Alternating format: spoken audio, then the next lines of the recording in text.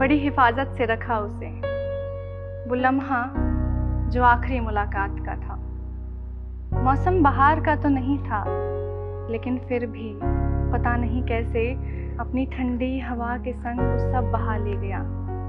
यादों के तहखाने में, लाल पोटली में बंधे, कुछ लिफाफे भी थे वहाँ। खोलकर देखा तो खत थे।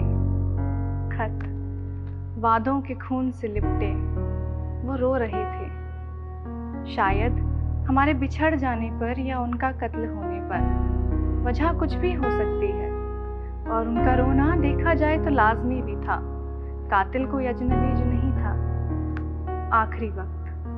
आखिरी वक्त मुझे याद है। तेरे चेहरे पर एक नूर था।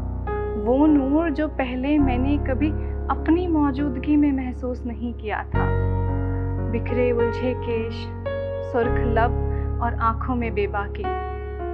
जवा की धार, सबने मिलकर उस आखिरी लम्हे को यादगार बनाया। इतना यादगार कि वो अब नासूर बनता जा रहा है। जहर की तरह मेरी नसों में घुलकर मेरे अंदर पनप रहे जज्बातों को खोखला कर रहा है और मैं चाह कर भी कुछ नहीं कर पा रहा। तुमने बेबस और कमज़ोर जो बना दिया।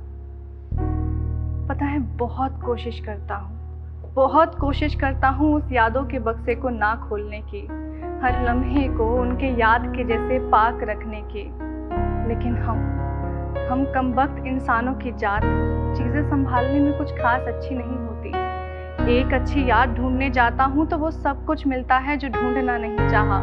नफरत, गुस्सा, फरेब, लापरवाही, सब कुछ। बस वो नहीं मिलता जो ढूँढने गए थे। और खाली हाथ लौटकर अफसोस करता हूँ कि कुछ नहीं मिला।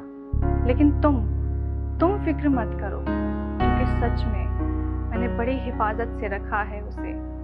वो लम्हा जो आखिरी मुलाकात